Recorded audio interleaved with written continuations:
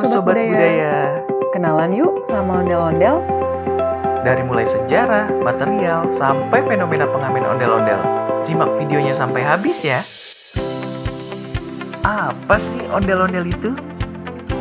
Ondel-ondel merupakan sepasang boneka besar setinggi 2,5 sampai 3 meter.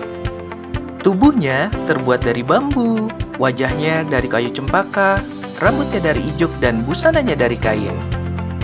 Ini dia nih struktur ondel-ondel dari atas sampai bawah.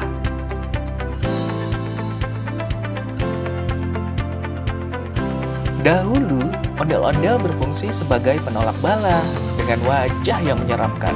Seiring perkembangan zaman, wajahnya tidak lagi menyeramkan karena sudah berubah fungsi sebagai seni pertunjukan. Tapi sayangnya banyak pengamen ondel-ondel di jalanan yang tidak sesuai dengan kaidah dan berakibat munculnya perspektif negatif dari masyarakat terhadap ondel-ondel. Mereka juga melanggar beberapa peraturan nih sobat budaya. Sanksinya nggak main-main loh. Pidana penjara maksimal 60 hari dan denda 20 juta rupiah. Yuk sobat budaya, sama-sama kita jaga marwah ondel-ondel.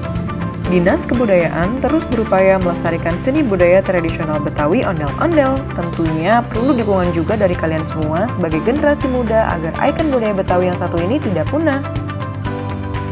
Salam, Salam budaya. budaya.